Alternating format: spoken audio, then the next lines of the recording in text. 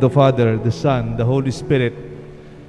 Temporalities, from the word temporary, hindi magtatagal. Nothing is permanent. Sa simbahan po, meron tayong sariling language sa ating uh, financial reports. Siguro sa mga familiar sa mga uh, accounting and financial reports, meron tayong term na assets. Assets, mga simbahan, sasakyan, uh, lupa, pera, liquid assets, fixed assets, uh, mga ari-arian, buildings, assets ang tawag natin dyan. Pero alam niyo po sa simbahan, hindi man tin ginagamit yung term na assets. Ang term, temporalities. Kaya meron tayong committee sa simbahan ang tawag eh, Board of Church Temporalities, B-O-C-T. Para bang sinasabi lahat ng yan, oh, ginagamit natin yung building na yan, ginagamit natin yung mga sasakyan na yan, may pera tayo, yes, may savings tayo, pero lahat ng yan, temporary lang yan. Parang kinikilala natin sa ating simbahan, ang mga lahat ng ginagamit natin, hindi permanente. Ganyan din po sa ating ebanghelyo. Parang nakakatakot. Kasi sinabi ni Jesus nung makita niya, malapit niya sa Jerusalem. And in Jerusalem, what is most what is most uh, prevalent and what is most obvious pagpapasok ka sa Jerusalem is the big temple of Jerusalem. Doon lahat pumupunta yung mga uh, Hudyo from different places, even the Jews from Greece, yung mga diaspora uh, uh, Jews, they come. Umuwi sila doon and they offer offer uh, their own prayers and sacrifices. Kaya nga po even Jesus when he was a young boy, he was even lost in the temple. Sabi nga, pumupunta nagpipilgrimage dun sa malaking templo ng Jerusalem.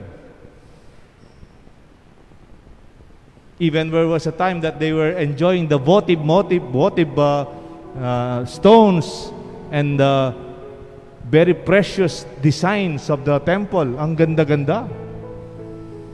Kaninang umaga, nagpadala ng uh, message yung isang volunteer natin sa St. Joseph Chapel. Tawag nila sa sarili na St. Joseph Ser- Chapel Servants. Ang pangalan niya Marlon Takdol. Siya ay uh, taga Clark, ay sorry, taga Tarlac, no? Pero nagsi-serve sila sa sa Clark. Sabi nung kanyang pinadala, life is very short. Hindi lang short, very short. So break your silly ego Forgive quickly and believe firmly. Love truly. Laugh loudly and never avoid what makes you smile. Konti na lang yung buhay natin. Maikli lang. Ilang years lang. Wala man 100 years siguro. Huwag na nating sayangin. Yung pinapauna natin ng ating sarili. Ako, ako, ako. Let go of that. Forgive quickly. Huwag kang magpatalo sa kasalanan ng iba. Magpatawad ka kagad at maniwala ka, matibay na paniniwala. Gawin mong totoo ang pagmamahal mo sa iyong pamilya, sa iyong mga anak, at sa mga nagmamahal sa iyo. Laugh loudly. Enjoy. Enjoy life. And never avoid anything that makes you smile. Meron akong kilala po, kamag-anak namin, actually, lawyer siya Asawa po nung tita ko, lawyer. Nag-reunion po kami. Actually, nag-reunion kami dito sa Clark. When I was uh, maybe a younger priest, no? Nung nag-reunion po kami sa Clark, usually reunion na yan, uh, Saturday or Sunday. So, nagmisa po ako sa family namin. Tapos, uh, nakilunch po ako.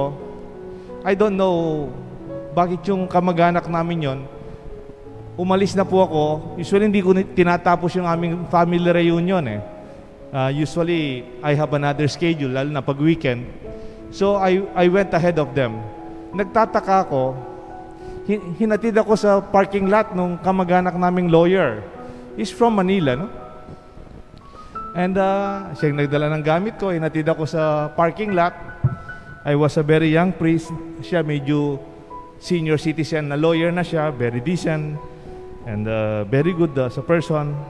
Hindi ko alam, ba't sinabi niya sa akin, Father, life is like a roll of tissue. Alam niyo yung tissue, tissue? Tissue paper?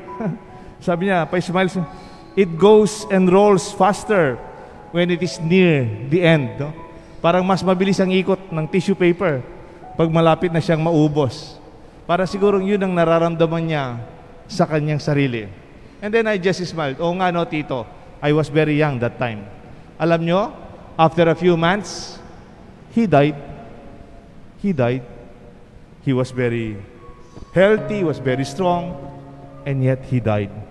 Kaya nga siguro ganyan yung nararamdaman niya. Mabilis ang buhay. Let us not harbor any anger, any hatred, and anything that is not worthy of the short moments that we have. Kaya nga minsan, nabasa ko lang yata to, mayroong nakasakay sa bus, sa bus, sa bus. Tapos po habang nakasakay siya, mayroong isang sumakay pang iba, parang uh, napaka-bully, bully po siya. Tapos, ang ginawa nung uh, bagong sakay, parang umupo sa upuan niya, tapos parang ginaganyan-ganyan siya yung upuan. Yung parang naki, nakisiksikan yung bagong bagong sakay sa bus. No? Napaka sama ng ugali. Sorry for the term. Napaka rough. Itong itong matandang babae no? na dapat respetuhin, tumayo po siya, tumayo po siya. Hindi siya nakipag-away. Hindi ko alam, baka lasing yung uh, yung walang, sorry for the term, no? yung walang modong lalaking dumating, tumayo siya. Galit na galit yung ibang mga pasahero. Parang gustong makip, makipag-away dun sa bagong, bagong sakay na bully. Nakatingin lahat sa kanya. At tinihintay yung babae kung ano yung gagawin niya para magbigay lang siguro ng signal.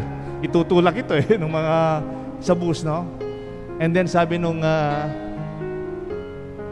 sabi nung matandang babae, Do not worry. Do not worry. I will be going down the next stop. Huwag na kayong magalala. Huwag na tayong mag-away-away dito. Total, bababa na ako sa susunod na kanton saan ihinto yung bus.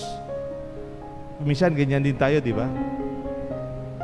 Kung alam natin na malapit na yung buhay natin, we will not we will not waste our time arguing o makikitulakan o makikipag-away sa mga bagong mga bagay na temporary. Sa'yo na, sige. Pero dating ang panahon, we will let go. Nasabi niyo po ang uh, the great central temple of Jerusalem na sinabi ni Jesus darating ang panahon there will be so- soldiers who will put pillages, no? lalagyan ng bakod yan, isasara yan, at sisirain. Walang bato na matitira, naka, nasa taas ng isa pang bato. Everything will be flattened. Jesus prophesied. This is around 33 AD. And then by 71 AD, after more than 40 years, it was true this great, beautiful temple of Jerusalem, the center of the faith of the Jews, was destroyed and annihilated, flattened by the Romans, powerful Roman soldiers. Parang nakakapangilabot yung nakikita nating malakit, mahalaga, nasa sentro, suddenly nawala. In fact, even this powerful Roman Empire which ruled the world for more than 600 years. The glory, the grandeur, and the power of Rome. For more than 600 years, the Romans ruled the world as a superpower empire. Alam niyo po yan, mga Caesars na sunod-sunod, until it was taken over by Germanic tribes in 476 AD. Rome was sacked twice by the Goths in 410 and by Vandals in 455.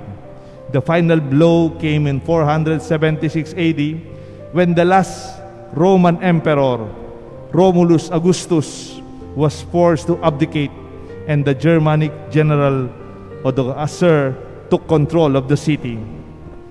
Italy eventually became a Germanic Ostrogoth kingdom. Para bang nasaan ngayon yung superpower na Roma? It was not also permanent. It was just temporary. The glory of Rome. Kung meron na po kayong napasyal sa Rome, ako napasyal na po ako sa Rome. Uh, Ro- Rome Blon, Rome Blon lang. Hindi, pero minsan nakapasyal na rin po ako doon uh, some years ago. Makita mo, you'll be surprised yung Roman uh, Empire, it is already ruins. Makikita mo nasa ilalim. Yung mga style pala ng Italiano, they do not destroy and then build. Ang ginagawa na, they build up on the top of the next buildings. Kaya kung titignan mo sa itaas, parang nakalibing ang mga naunang buildings. Nakalibing ang unang sibilisasyon. Ang tawag ngayon doon, the Roman ruins. Wala na. Wala na. Yung mga emperor, yung mga czar, or yung mga Caesar, wala, wala. Caesar salad na lang yata yung uso ngayon. Pero, tignan ho ninyo, mayroong isang picture dyan. Minsan, napansin ko, yung picture ng Roman Empires, Empire, it is already flattened. Tapos yung background niya, yung St. Peter's Basilica. I'm not saying anything even our physical church can also, can also be not permanent. Pero para sinasabi natin, nanatili ang sa Diyos.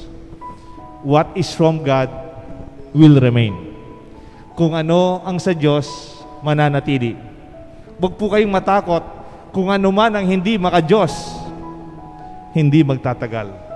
Maybe magtatagal in our lifetime or beyond, but not forever. Our life is so short. Nothing is permanent here on earth. Kahit sa'yo lahat, iiwanan natin lahat. Only God remains. Only God is permanent. We cling to Him. We hold on to Him.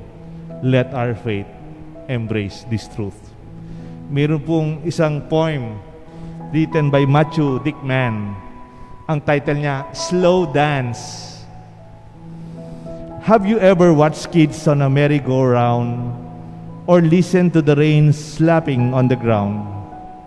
Even followed the butterfly's erratic flight or glazed the sun fading into the night? You better slow down. Don't dance too fast, for time is short. The music won't last. Do you run through each day on the fly? When you ask, How are you? Do you hear the reply? When the day is gone, do you lie in your bed with the next hundred chores running through your head? You better slow down. Don't dance too fast. Time is short. The music won't last.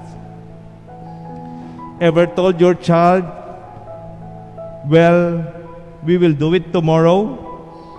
Or in your haste, not see his sorrow? Even lost touch, let a friendship die, cause you never had the time to call or to say hi. You better slow down. Don't da- dance too fast. Time is short the music won't last. When you run so fast, you get somewhere, you miss half of the fun of getting there. When you worry and hurry through your day, it's like an open gift thrown away. Life is not a race. Take it slowly. Hear the music before the song is over. May God bless us all, the Father, the Son, and the Holy Spirit. Amen.